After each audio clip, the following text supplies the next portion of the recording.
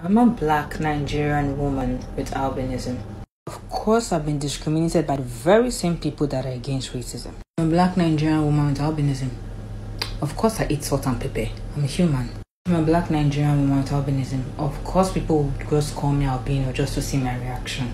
I'm a black Nigerian woman with albinism. Of course, I don't like wearing my glasses. There really isn't any point. I'm a black Nigerian woman with albinism. Of course, people would stand right in front of me while I'm walking and ask me if I can see them, despite the fact I'm walking. I'm a black Nigerian woman with albinism. Of course, people have made insensitive comments about my eyesight, including my friends. Hmm. I'm a black Nigerian woman with albinism.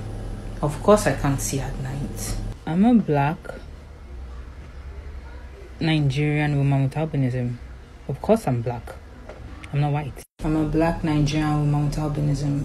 Of course, I've had childhood trauma from secondary school, primary school, just because I was bullied because I have albinism. I'm a black Nigerian woman with albinism. Of course, I get stared at for more than five minutes.